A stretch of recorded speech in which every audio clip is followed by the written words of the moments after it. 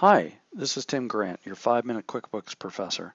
Today talking about the inventory settings in QuickBooks. But before I go there, let me show you a report that it's important you understand the concept of before we begin. First I'm going to go to Reports, Inventory, and Inventory Stock Status by Item Report. Now this is a pretty busy report, but I'll try to simplify a little bit. Basically all you have is your items here on the left hand side rolling down into your uh, assemblies. And here in the middle are four columns that are important, uh, starting with the on-hand quantities. These are, if I were to go out and count every item that we have in all of our warehouses, this is the number, these are the numbers that I would expect to see. So from that, we can take off of it any that are reserved for sales orders. So if our company uses sales orders before creating invoices, they would be marked on here and we could drill down and find which specific sales orders they belong to. The next column is for assemblies. So if I'm running a, a manufacturing or production environment, I may have a lot of my items reserved for assemblies that maybe I'm waiting on other parts to come in in order to complete the assemblies. And lastly, we have the available column, which is simply your on-hand quantities less anything on sales orders, less any items reserved for assemblies, leaving what is available. So for example, my item here, the ANAD, my second item here, I have 11 on hand, not on sales orders, but I have 12 reserved for assemblies. Oh my gosh, I'm minus one. I need to order this item. And that's what the purpose of this report, inventory stock status item, is there to do, is to show you how that's set up. Now with that understanding, to see how the inventory items are uh, set up in Preferences, we go to Edit, Preferences, and on the left-hand side, we tap on Items and Inventory.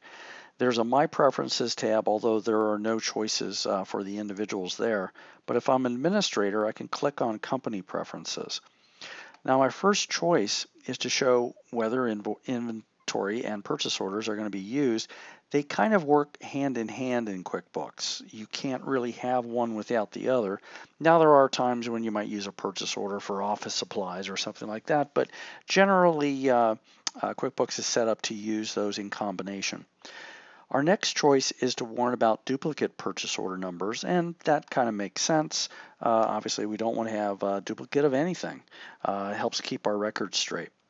Now, the next two choices we have refers to that report that I was just talking about.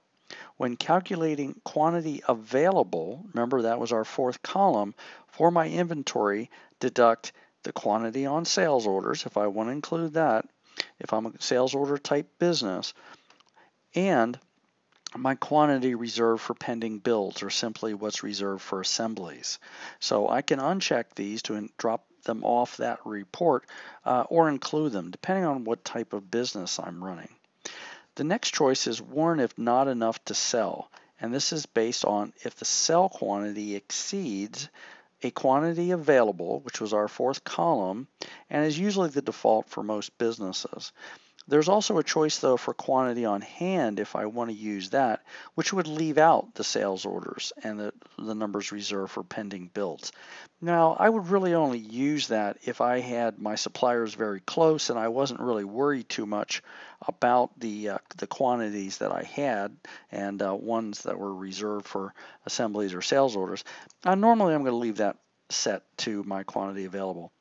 There is a button here for advanced inventory settings, which refers to a subscription service that applies only to QuickBooks Enterprise and adds some functionality. Uh, gives clients the ability to add serial and lot numbers, FIFO costing, uh, multiple locations, that kind of thing. Unfortunately, that's that option is not even available uh, in the QuickBooks Pro or Premier editions. So this is really more of an advertisement to encourage the uh, user to upgrade to QuickBooks Enterprise. And then the last choice we have is a unit of measure. I'm going to do a whole nother session on how to run your units of measure, but basically if you have a business where you're always selling in the same unit, for example, if you're purchasing in an each and you're stocking in an each and you're selling in an each, or if it's a gallon that you're purchasing and a gallon you're stocking and a gallon you're selling, then you could probably just get by with a single unit of measure.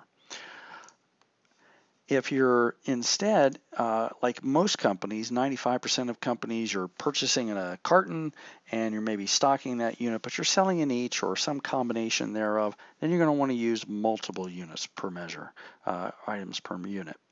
So um, that's it. That's your basic inventory settings. We'll have another session on advanced inventory settings in another session.